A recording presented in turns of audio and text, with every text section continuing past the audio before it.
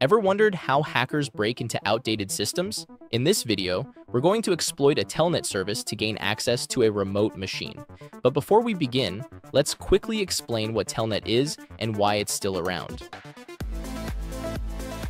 Telnet, short for Telecommunication Network, is one of the oldest remote access protocols. It allows users to connect to a remote computer or server and execute commands as if they were physically present. In other words, Telnet is a network protocol for text-based communication between two machines over a network. However, it lacks encryption, making it highly vulnerable to attacks. This means a Telnet client, such as an attacker, can connect to a server running a Telnet service, potentially gaining unauthorized access if weak credentials or misconfigurations exist. Today, Telnet is largely obsolete and replaced by SSH, but it still exists in legacy systems, embedded devices, and closed networks where security isn't a concern. For example, some older networking equipment like switches and routers still use Telnet because they were built before SSH became widespread. Also, some IBM mainframes and older Unix-based systems still support Telnet for terminal access.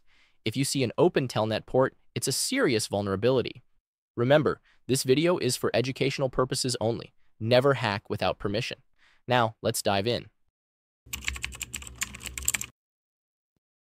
The first step in any penetration test is enumeration. This phase involves gathering as much information as possible about our target. In this case, a Linux-based server vulnerable to a Telnet exploitation attack.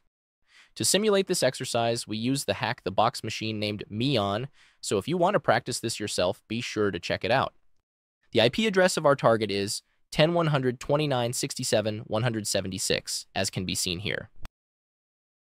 One of the most commonly used tools for enumeration is Nmap, which stands for Network Mapper. This powerful network scanning tool helps us identify open ports, running services, and potential vulnerabilities, which are crucial information for the next steps of our attack. Let's fire it up and see what we find. To do this, open a terminal and enter sudo nmap minus sv followed by the IP address of the target.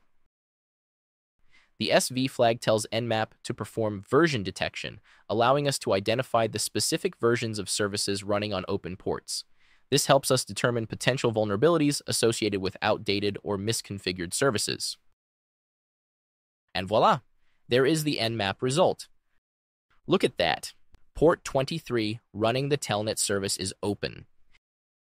This is a major security risk as Telnet transmits data unencrypted, making it an easy target for attackers who can intercept things like usernames and passwords in plain text. Let's see if we can exploit this open Telnet port. Now that we've confirmed Telnet is open, let's try connecting to the server and see what level of access we can gain. To do this, we simply enter the command telnet followed by the IP address of the target. This initiates a connection to the Telnet service running on the target server. If authentication is weak or misconfigured, we may be able to gain access and explore the system further. And boom, we're in! But we still need valid credentials to proceed. Typically, Telnet servers require a username and password. In this case, our target system prompts us with a Hack the Box banner and requests authentication before granting access to remote management. As you can see, if we fail to provide valid credentials within 60 seconds, the connection is automatically terminated. This means we need to find a working username and password before we can have access to our target. As we saw, we cannot proceed without valid credentials. One technique hackers use to bypass authentication is called brute force. This involves systematically trying multiple username password combinations from a predefined word list until a valid match is found, granting access to the system. There are several powerful tools designed for brute forcing Telnet credentials, including Hydra, Medusa, and Encrack. We will cover these in detail in future videos, but for now, let's try some common usernames without a password, since weak Telnet configurations often allow access with no password set. So let's try reconnecting. First, we try admin as username with no password. As you can see, the connection fails. These are not valid credentials. Let's try again with administrator as the username and no password. Again, the connection fail, still no luck. Hmm, what about the root as user? Let's see.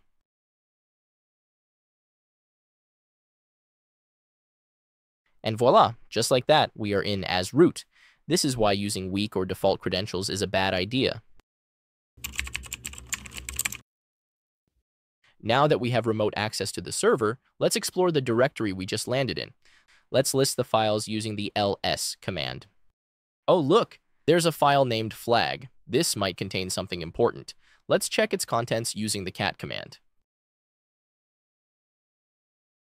Aha! This looks like an MD5 hash. In Capture the Flag challenges, this would be our proof of exploit. Congratulations, you've successfully hacked the server via a telnet brute force attack by exploiting weak credentials. Now let's see how to protect against this type of attack. To prevent this type of attack on your system, follow these three best practices. 1. Disable Telnet and use SSH instead. Unlike Telnet, SSH, short for Secure Shell, encrypts all data, preventing attackers from capturing sensitive information. It also supports stronger authentication methods, such as key-based authentication, making unauthorized access much harder. 2. Set strong passwords. Weak passwords make brute force attacks easier. Use long, complex passwords with a mix of uppercase, lowercase, numbers, and special characters. Better yet, implement multi-factor authentication for an extra layer of security. 3. Use firewall rules to restrict remote access. A firewall acts as a security barrier between your system and potential attackers by filtering incoming and outgoing network traffic. Configure firewall rules to allow only trusted IP addresses to access remote services like SSH, blocking unauthorized connections. That's all for today. If you found this video helpful, don't forget to like and subscribe for more quick cybersecurity tips. See you in the next video. Take care. Bye for now.